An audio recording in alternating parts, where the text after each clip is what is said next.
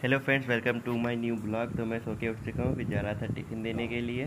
फिर आया टिफ़िन देखे देखा मम्मी के पैर में हो रही थी बहुत ज़्यादा दर्द कह रही दर्द हो रही दवाई ला के देना। फिर वहाँ गया।